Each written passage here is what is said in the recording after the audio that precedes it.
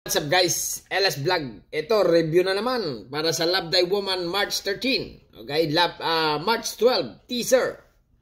Okay? Kasi dito, si Dana, ah, eh, nagdrama na hindi na siya makakalakad. Pero, nabuking ito. Okay? Nabuking ito ni Jaya. Okay?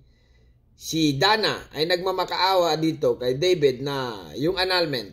Kasi nga, pinadala na niya ng annulment to para magiwalay na. Eh, yun nga, na wag na ituloy. Alright, review para sa teaser. Para tomorrow to. Pisa na natin. Alright, ayan. Si uh, Dana, medyo nagdadrama siya kay David, ha? Na talagang uh, pilay ang dating niya. Hindi siya makakalakad.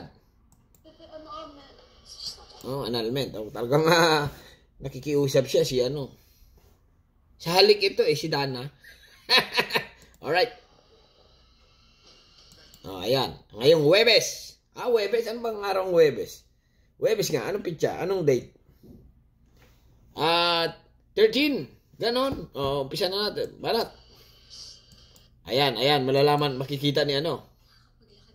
Oh, yun. Sabi dito ni Jaya. Ha?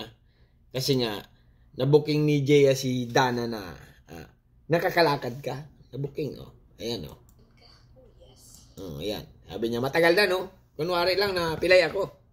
Talagang ito si uh, yung conception, yung conception nito ay eh, talagang magaling drumama ito. Pero, alright.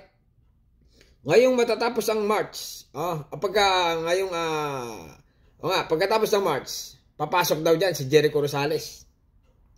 Abangan nyo na lang, alright? Siguro, ipa-partner dito. Magkakaroon ng annulment yan eh. Magkakaroon ng annulment si uh, uh, David at saka ito si ano, siguro matutuloy ang uh, hiwalayan tapos si David at saka si Gia eh medyo magkakaroon ng something something. Alright? Kaya dito papasok si Jericho Rosales para lalong tumaas daw ang rating ng uh, Love Day Woman. O, banat. Ay! Anong ginawa mo, Dana, kay Gia? Ginanon, oh. Ay! Sinapak nga. Mm, talagang magkapa ito magkapatid ito eh. Oh, anat. Mm, magkapatid sa ama. Ay nak, may nagbibidyo. May nagbibidyo oh. Binibidyohan. Ayun oh. Binibidyohan sino kaya 'yon? Oh. Ay, tumakbo siya oh. Pagkatapos sa kalipas noon, bago lumabas si ano, nag-CR siguro ito. Ay, sa CR pala 'yon.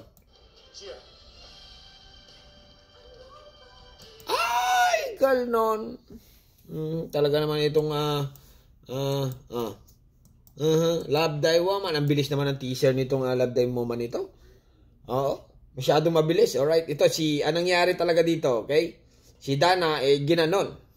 Ginanon. Si uh, Jaya. Okay? Kasi nga, si Dana and uh, si uh, David ay eh, talagang nag-file na ng annulment. Kaya lang, eh, talagang nakikiusap si Dana kay David na wag, wag ituloy. Kaya ito si, Dana dito ay eh, nagdadrama-drama na talagang pilay siya. Alright?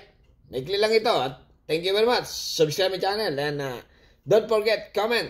Love Day Woman. Review. Teaser. Teaser review. Alright? Subscribe. Don't be shy. Don't be shy. Okay? Subscribe. Don't be shy. Okay? Subscribe. Thank you.